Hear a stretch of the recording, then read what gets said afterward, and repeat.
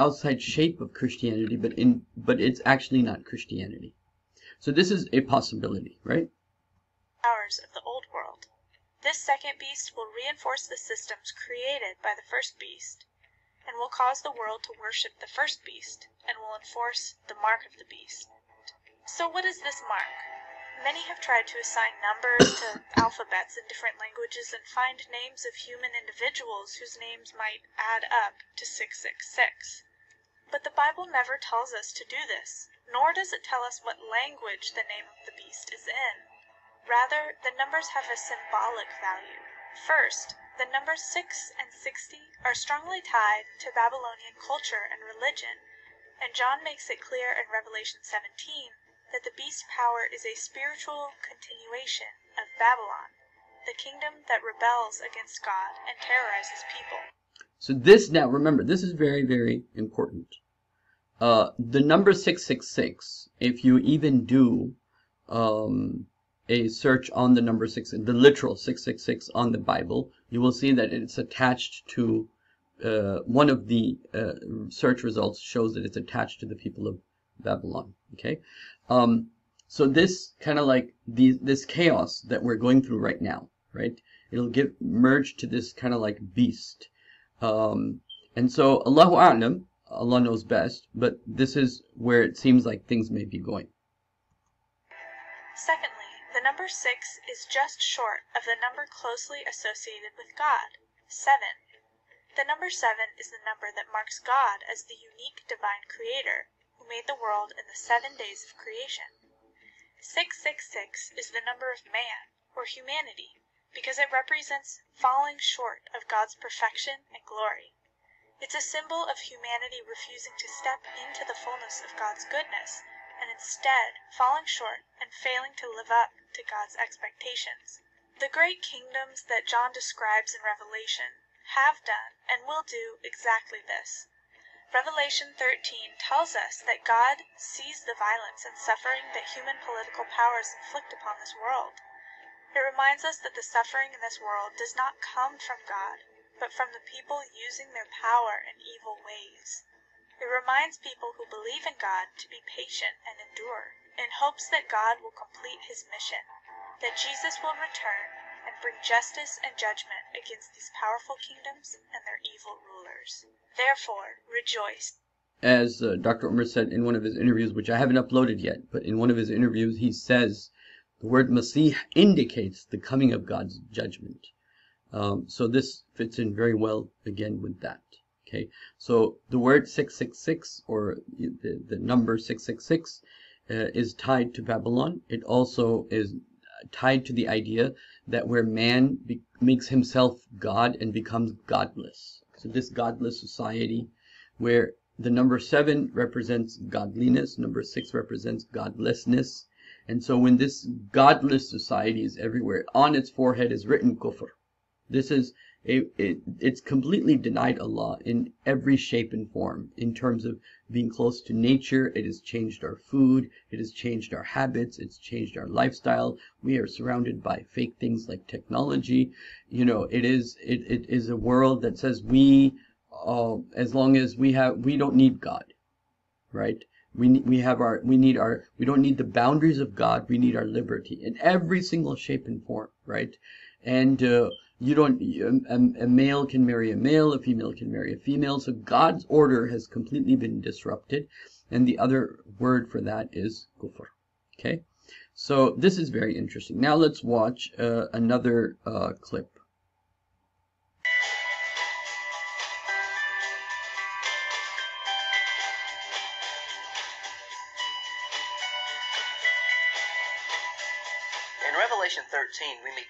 beasts. And one is the beast from the sea, and one is the beast from the land. Now, we need to remember that Revelation is apocalyptic imagery. Now, the beast from the sea, as you know from the previous lecture, but one of its possible interpretations, which is the beast that that has its throne on the sea, is Shaitan Iblis. And who is the beast on earth? Is Dajjal. So this kind of like relationship is also possible, Allahu A'lam. Again, these are all metaphorical things. No one can say 100%, right? This is not part of our uh, uh, um, imaniyat uh, as such. This is a matter of interpretation. So this is one possible interpretation. Allahu a'lam. It's apocalyptic book that uses apocalyptic imagery. And so when we see a beast in Revelation, we should ask, what is that representing? And one of the best things to do when reading Revelation is to consider possible Old Testament backgrounds. And that helps us here. If we turn to the book of Daniel, chapter 7, a book that has quite a bit of similarity to Revelation in a number of ways, we find different kingdoms represented by different beasts. And this sort of imagery is in the background of the beast in Revelation 13, the beast from the sea. And so this beast from the sea would fill God's people with trepidation, uh, but, but the way that John describes it is going to be in a way that's going to encourage the church. We also meet a beast from the land, and it's again helpful to remember the, the associations of kingdoms with beasts here. Uh, but the beast from the land is promoting the beast from the sea, and we find elsewhere that this beast from the land So over here, what I wanted to uh, share with you is that the, the beast of the land, meaning Dajjal, is promoting the beast of the sea, meaning Iblis. This is one possible interpretation. I'm not saying, because if you take the normal Christian interpretation, this is not the interpretation at all. And their interpretation within the Bible has a lot of uh, validity, you can say also. But the other thing I wanted to show with you, show with one common element between the, the Islamic scriptures and Christianity is that the idea of 666 meaning ungodliness uh, is the same as the idea of kufr. And so 666 will be on the forehead and kufr will be on the forehead. This is a common point between the two. It's, it's very important, uh, you know, to use the help of people like Dr. Umar Zaid to understand some of these things a little bit more deeply, which I will be doing, inshallah, uh, shortly. Um, And so the beast from the land may be some sort of religious um, influence that promotes worship of the beast from the sea uh, in a way that would be deceitful and in a way that would. Tr- so the, the, the beast of the land promotes the worship of the ibadah of shaitan himself. Uh, so this is one way to look at it, okay? Um, so we will, inshallah, end here as far as uh, the arrivals uh, series is concerned for today. Um, and this is like a beginning of the part of the uh, number four. But so I wanted to discuss uh, the Islamic perspective on 666 and its relationship with the word kufr. And that you will not be able to buy or sell without his mark. Meaning what? Now uh, let me actually show you a few parts of the uh, Bible. Okay. Um, let me show you a few parts of the Bible so this is uh, Revelation 13 where it says uh, you know, they will not, and here, the, him that hath understanding count the number of the beast, for it is the number of man. The number, his number is six hundred, six score and six. And the verse before that says, and no man might buy or sell, save he had the mark. Okay, you will not be able to buy or sell except you will be doing something kufr. You will be uh, the whole commerce, the whole capitalistic society, the whole consumer society, this whole consumer system, the system of consumerism, the whole system of economics, the, the paper money, the paper money, all of it will be built upon kufr, which will be denial of Allah's system, denial of gold and silver, replaced by something other than the order that Allah subhanahu wa ta'ala has created. And so this is uh, one possible interpretation of this this whole passage of the Bible and how it relates to other passages passages of the Bible.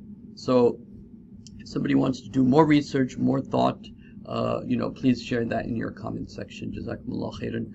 Assalamu alaikum wa rahmatullahi wa barakatuh. Now, as for the uh, the part of uh, that I usually do for a few minutes at the end, uh, as far as uh, spirituality is concerned, again.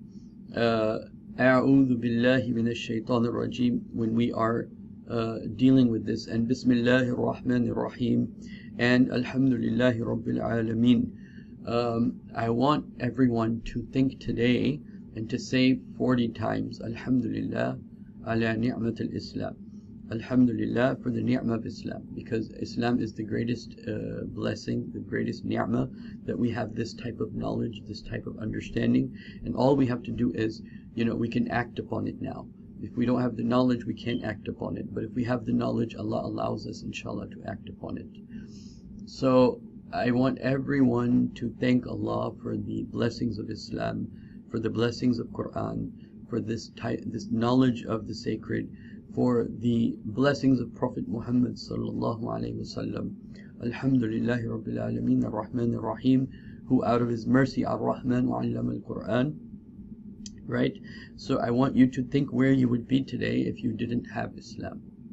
So with this idea, I want you to praise Allah and I want you to thank Allah subhanahu wa ta'ala in His hamd and His shukr.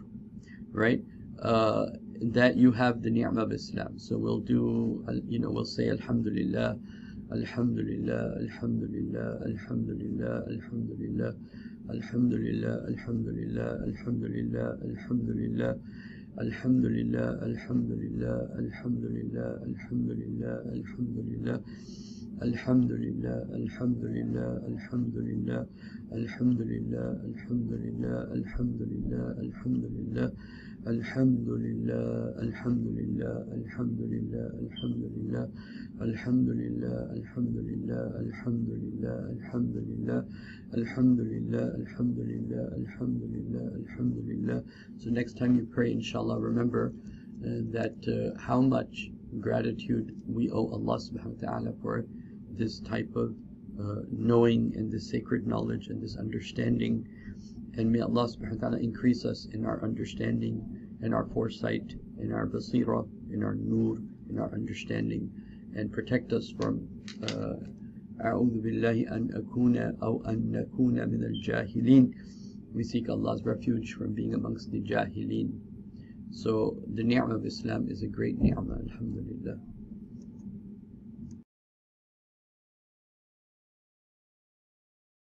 This was a very, very amazing video. I'm trying to put in a word before my camera goes off because it's low.